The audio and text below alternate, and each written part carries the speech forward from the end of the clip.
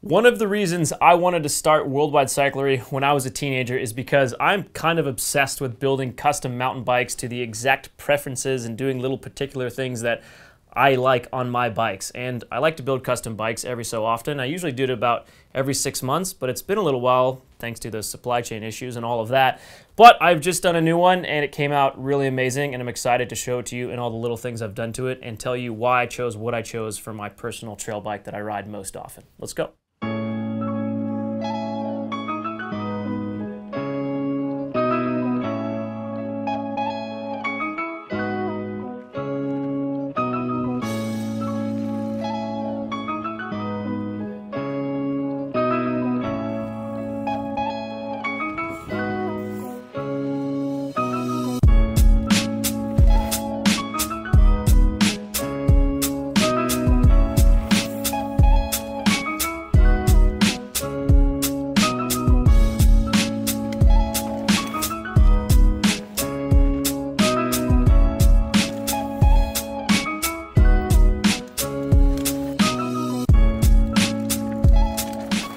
So this is it. I have built actually yet another Revel Ranger. I had one of these for the last almost two years, which is probably the longest I've had any bike.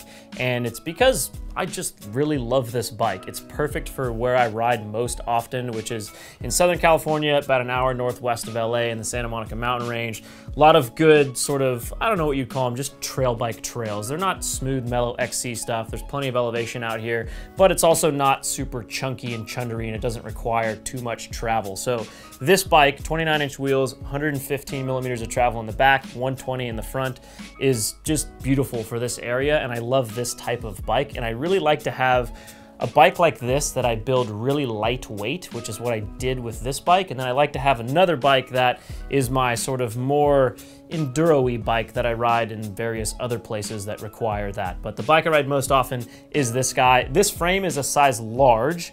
Uh, I'm five foot eight, not tall by any means, and I just kind of prefer roughly a 470 reach, so I don't really look and care too much about if one brand says small, medium, large, extra large. I'm more just interested in what the reach number is because that's what matters anyway.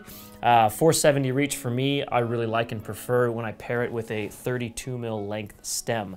This style bike, which some people call light trail bike, I think the term downcountry's got tossed around, it really started to shine only a couple years ago when this suspension came out from RockShox, and Fox has got great comparable stuff to it now as well. But the SIDLuxe Ultimate Rear Shock and the SID Ultimate Fork, when those things were released, it really made this type of bike work so well because they're just plush, they're supple and it just made a huge difference compared to sort of what this travel range of bike had available to it for a suspension prior to this stuff being released. So I love that about it. It's really made this type of bike amazing and being able to build it just right and make it really light is pretty cool and fun. Some things that I did to this bike that are different than my last Ranger. Actually, a few things. So for starters, you'll notice the paint job. Wow. Uh, that's a custom paint job by this guy called Tec Gnar. You can see his website right here. He does custom mountain bike painting and he's fantastic at it. I love this setup. Uh, actually, Liam, Liam for the most part, with a little bit of feedback from me, put together this design of the paint and then we just passed it over to Tec Gnar and he made it come to life beautifully and you can see it's kind of two-faced if you look at the non-drive side of the bike and spin around it like you're looking at right now. I love this thing. I love having a bike that just has a really unique and rare look to it. So to me, it's kind of worth it to do a custom paint when you're able to do it. And I was able to pull it off and I'm glad that we found Tec Gnar. He's kind of new to the game, it seems like, at least in the mountain bike industry. And I'm just glad to have a guy like that that's custom painting bikes so well like this. So uh, that's what's going on there with the frame and everything and a suspension. Uh, in terms of cockpit, all Trail One stuff. Disclaimer, uh, Worldwide Cyclery has an equity stake in Trail One and a lot of the crew here is working with Trail One and the head engineer over there to really design amazing mountain bike parts that we've always wanted ourselves and also have a really good philanthropic give back element to the trails. Um, so every Trail One product that sells, a dollar goes to a trail network to help support trail building and trail networks. Um, Crockett carbon handlebars, Rockville stem, which is made in California. Uh, I have my bars cut to 760. They're 15 mil rise. That's my preference again for this style of bike. 32 mil length stem, like I mentioned. Uh, Hell's Gate grips, which I love those things. Um, that's a cockpit setup. As far as other contact points, this is the newer version of the WTB Silverado. Silverados are made out of thunderstorms. Saddle with carbon rails. I think this is the lightest, stealthiest most amazing looking saddle that is actually still actually pretty comfortable. It doesn't just feel like a piece of wood. And the new material, and I guess you'd call it compound or foam, that they have on this newer version actually works quite well and is a good upgrade from the last one. So very impressed with that. I think they did a good job. It's always a risk when you change the actual material of the saddle and WTB nailed it and made it better, which is cool. Um, as far as tires, We've got a million YouTube videos on tires. Uh, this is the, if you watch our video about tire setup and tire combos specifically, Maxxis tire combos, this is my preferred setup for this type of bike. Uh, Dissector 2.4, 3C in the front, and then a Rekon in the back.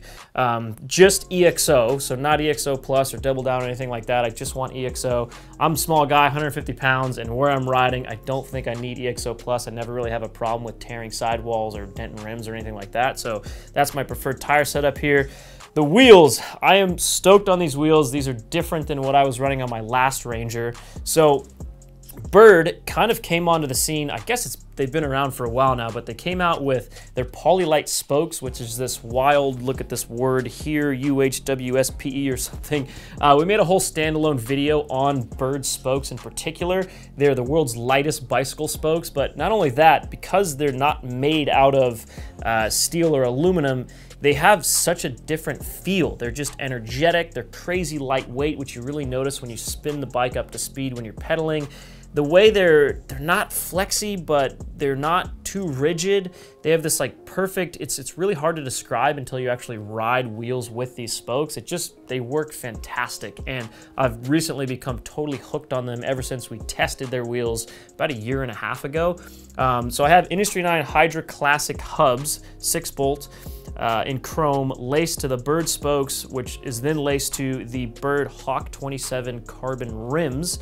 I used to never run carbon rims, but in the last couple years, they have gotten so strong and so reliable that I don't think I can really break a carbon rim at this point, and I haven't in ages, so I'm sticking with carbon rims until further notice, at least for now. Uh, as far as brakes, SRAM G2 Ultimate with carbon levers and chrome. I really like SRAM brakes. Um, I think that they have that perfect balance of sort of modulation and power.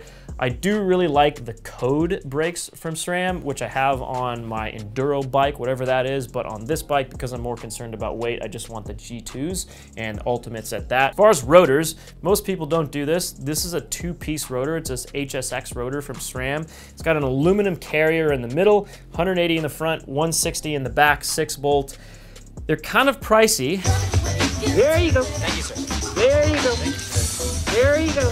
But in my opinion, they're lighter, they have better sort of heat dispersion because of that aluminum carrier, but most importantly is they're just more rigid and they never, they, I shouldn't say never, but almost never bend, which means my brakes don't ever rub, which really bothers me. I really care about getting the bleed perfect and then not having the brakes rub. And those particular rotors, because of the aluminum carrier, seem to just not bend and therefore never have brake rub as long as the brakes are bled well. So I really like those rotors and that's why I constantly prefer them um, on this bike. Uh, let's see, what's next? E13 XCX Race crankset in 170 mil carbon cranks.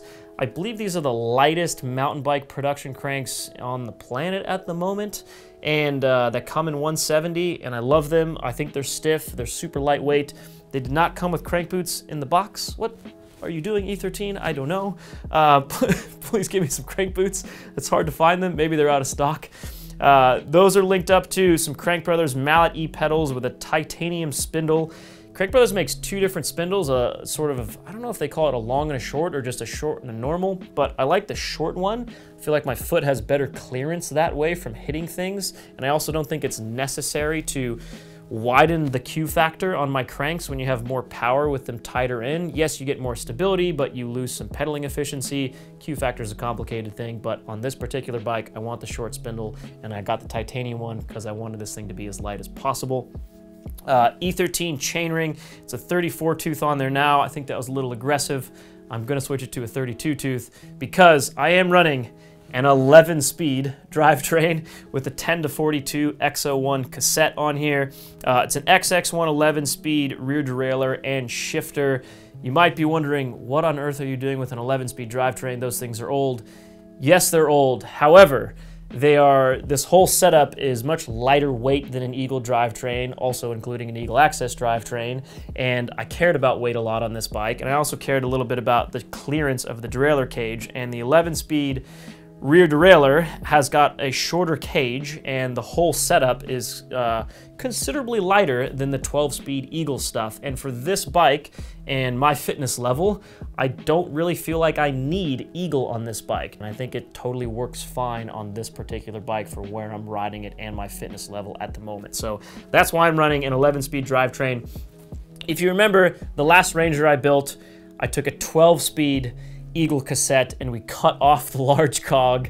A lot of people had a panic attack about that. I did that because I wanted a gold cassette, but the same reason I wanted it to all be 11 speed and yada yada. Anyways, uh, I decided not to do that this time around because I didn't care for gold or a color. I wanted black, and they make black at 11 speed, so I didn't have to go through that mess again, which was a huge challenge. Luckily, we have a fantastic mechanic here, being Liam, who cut that cog off and then also changed the cage on the rear derailleur to be the 11 speed cage on a 12 speed Eagle derailleur. That whole process was a lot of work for essentially not really any reason other than looks. Um, so this made a lot more sense on this bike, given that I wanted that color. Uh, let's see, what else is on here that I didn't mention? Um, I have a water bottle cage from Supacaz, which is kind of a roadie brand. I was just looking for a light cage that was in stock and looked cool. Don't really recommend it, super wobbly. Probably gonna change that out. Also like a side load cage, and this is a top load cage. Uh, I'm not sure if I mentioned the dropper, but it's a KS dropper.